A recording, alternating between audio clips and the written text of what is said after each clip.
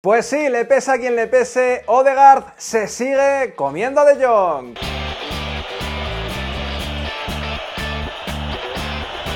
¿Qué pasa chavales? Bienvenidos al vídeo de esta semana de Cedidos por el Mundo donde especialmente me voy a centrar en ese partido de Odegaard contra De Jong, de la Real contra el Fútbol Club Barcelona y de cómo el futbolista noruego está haciendo mucho mejor temporada que el jugador del Barcelona. Pero primero voy a empezar un poco repasando los futbolistas que están teniendo menos oportunidades para, pues bueno, dejarlo también eh, mencionado. Mayoral, Jesús Vallejo no han jugado esta semana, como tampoco lo ha hecho Ceballos. En el caso de Ceballos sí que cierto que es por lesión. Parece que podría estar ya disponible para la secuencia de partidos de Navidad de la Premier League, pero la realidad es que todavía no se puede poner a las órdenes de su entrenador. En el Valladolid tampoco jugaron ni de frutos ni Javi Sánchez y no lo hizo tampoco un Lunin que el miércoles tendrá en la Copa ante el Tolosa su primera oportunidad de la temporada. De todas formas, quería comentar un poco de pasaje una noticia de AS que dice que el Real Madrid se estaría planteando muy seriamente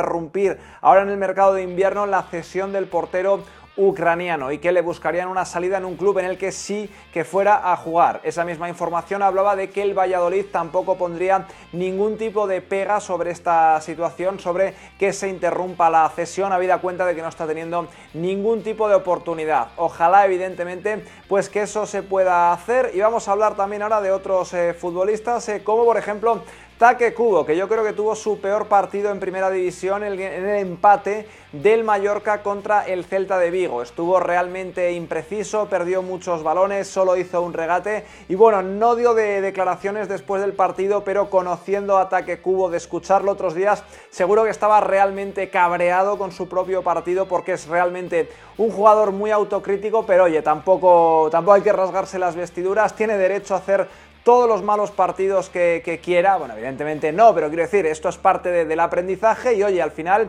jugó 77 minutos, lleva 6 partidos consecutivos jugando como titular y al final ya está en 866 minutos, lo cual me parece un auténtico tesoro. Viene ahora la Copa del Rey, a ver qué puede hacer el eh, Mallorca, pero si Cubo va a jugar más de 1500 minutos, entre 1500 2000, con la buena evolución que está teniendo, pues yo lo consideraré un éxito grande. Y otro que tampoco tuvo su mejor día después de un partido pletórico en el que marcó dos goles fue Óscar eh, Rodríguez. También fue sustituido contra el Deportivo Alavés, empató a uno el, Lega, empató a uno, empató en la segunda mitad, en los últimos minutos el Deportivo Alavés y bueno, pues Óscar eh, no, tuvo, no tuvo gran cosa, no tuvo ningún tipo de peso en el juego, ni disparos, ni regates, ni pases clave, así que, pues bueno, un día anónimo en la oficina para el bueno de Óscar Rodríguez. Sabemos que el fútbol tiene estas cosas, tú puedes hacer muchísimas cosas bien, que haces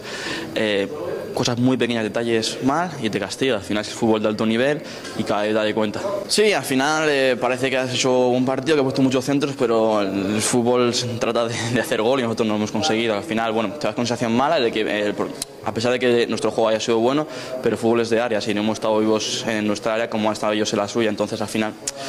te das con una sensación amarga de poder sacar más distancia a los que venían, pero esto es fútbol y yo creo que estamos en una buena línea y tenemos que seguir. Y ahí teníais a Sergio Reguilón porque vamos a hablar ya de laterales y creo que hay que hablar de un auténtico partidazo del futbolista cedido por el Real Madrid. Ya habéis visto alguna pequeña estadística con las flechitas mientras él hablaba, pero os la resumo yo porque yo creo que tuvo su mejor partido al menos a nivel estadístico. Fue, lo estuve viendo el partido, el gran generador de juego de, su equipo en la banda izquierda, un auténtico puñal, disparó en seis ocasiones, sí que es cierto que algunas de ellas he taponado, pero uno estuvo a punto de significar el gol de, de su equipo, el gol del Sevilla, fue el líder del equipo en ocasiones creadas con cuatro y dio una asistencia, un buen pase atrás a Munir, que sí que es cierto que el canterano del Barcelona transformó en un auténtico golazo. Además añadió tres regates en tres intentos y creo que fue pues de verdad un auténtico partidazo del bueno de Sergio Reguilón. Estoy de acuerdo con la valoración que hacía del partido, que probablemente les faltó esa contundencia, les faltó dominar las áreas, pero sí que es cierto que por ejemplo en desarrollo del juego el Sevilla estuvo mejor que curiosamente otros partidos de últimamente que había conseguido ganar, pero como decía Reguilón, pues esto es el fútbol. Y ahora vamos a seguir un poco con Agraf Hakimi antes de meternos en el show de Odegaard. De Agraf Hakimi habló Zinedine Zidane después del partido contra el Brujas le preguntaron por el jugador en marroquí y dijo que ya veremos, ya hablaremos en su momento de su regreso al Real Madrid, pero que por ahora le pone contento que esté marcando goles. Ha tenido dos partidos esta semana, uno en Liga y otro en Champions, en los dos ha sido titular y en los dos ha jugado como interior derecha. Estáis viendo el mapa de calor de su partido en la Bundesliga que ganaron por cero tantos eh, a cuatro y bueno, la verdad es que está jugando pues eso de carrilero, pone a tres centrales Fabre y el bueno de Agraf se come absolutamente toda la banda. Vio interrumpida su racha de asistencias, pero por ejemplo lideró al equipo con cuatro pases clave, uno de ellos de hecho botando un córner. Cada vez hace más cosas y cada vez al menos a ojos de Transfemar que está mejor valorado, porque en una actualización del mismo día de hoy le han subido el precio hasta la tasación, vamos hasta 45 millones de euros. Para mí Transfemar, que en esto de las tasaciones no es la Biblia, pero sí que creo que esta se ajusta bastante a lo que podrían pagar en el mercado por este futbolista. Es el sexto del mundo, el sexto lateral derecho del mundo eh, con más valor para la página, después de Trent Alexander Arnold, de Kimmich, de Cancelo, de Kyle Walker y de Dani Carvajal. Y ojo porque desde que se fue al Borussia Dortmund ha multiplicado por 9 la tasación que le hace Transfermarkt. Se fue estando valorado en 5 millones y ahora está ya en 45. Un auténtico, un auténtico proyecto de jugadorazo que puede jugar en la izquierda, en la derecha, como lateral y como carrilero. Y también le hemos visto hasta en 4-2-3-1 como uno de los eh, vértices ofensivos. Así que vamos, hay que, hay que jugar el trofeo Bernabéu con el Dortmund para agradecerles el gran trabajo que están haciendo con este jugador y evidentemente hay que felicitar tanto al jugador por su rendimiento como al Real Madrid y al propio futbolista por la decisión de esta cesión de dos temporadas en Dortmund. Y bueno, llega el momento de hablar de Martin Odegaard, del tema de Martin Odegaard versus eh, de Jong. Yo la verdad es que me podéis acusar de muchas cosas, pero no de ser eh, ventajista. El año pasado, cuando absolutamente nadie hablaba de Odegaard y el hype de Frankie de Jong estaba, pues bueno, altísimo, como ha estado siempre. Sabéis lo que opino del jugador, un grandísimo jugador que creo que está haciendo una buena temporada. Frankie de Jong, una muy buena temporada dentro de, las circunstancias, pero el año pasado, ya os lo decía, no veo en nada, sinceramente, en lo que Odegaard cueste 2 millones y Frankie de Jong 80. O sea, yo me hacía la pregunta, si Frankie, ahí es el título del vídeo de hace meses, si Frenkie de Jong vale 80, ¿cuánto valdría Odegaard? Pues hombre, la verdad es que mínimo esos 80 millones que han pagado por eh, Frenkie de Jong. En el partido del otro día, pues bueno, el futbolista holandés apenas pudo, pudo hacer nada, el Barcelona jugó un muy mal partido, en plan de juego le superó por completo la Real al equipo de Valverde y evidentemente eso favoreció la,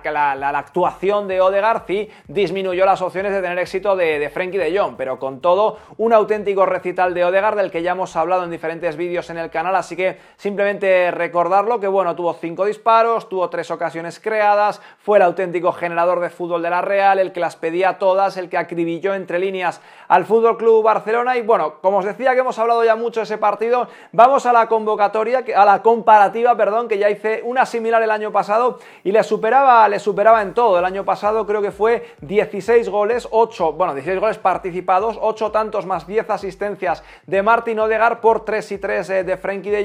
y luego en tiros, en regates, en pases clave, en ocasiones creadas, es realmente mucho mejor futbolista que Frenkie, un futbolista mucho más productivo que De Jong. Que sí que es cierto que el año pasado la comparativa posicional era bastante más, era un triple realmente, porque el año pasado Martín Odegar en muchos partidos, aunque ya interioreaba mucho, sí que jugaba prácticamente de delantero por la derecha, pero ahora son los dos interiores, más allá del estilo de cada equipo, más allá de que uno ataque más otro menos, están jugando ambos de, de interior y la productividad de, de, Martín, pues bueno, ya veis que en cualquier parámetro ofensivo es sensiblemente superior a la de, a la de Frenkie de Jong. Esto no significa ni que Frenkie de Jong sea, sea malo ni que tal, significa que Odegar es un auténtico diamante que está haciendo mejor temporada que Frenkie de Jong. Y luego pues eh, cosas en las que yo creo que siempre va a ser mejor que de Jong es en el golpeo, es en el regate, aunque de Jong es muy bueno también en eso, tiene muy buen regate. Luego también es mejor en, eh, en conducción, por ejemplo, y repito, de Jong es muy bueno también en ese tipo de cosas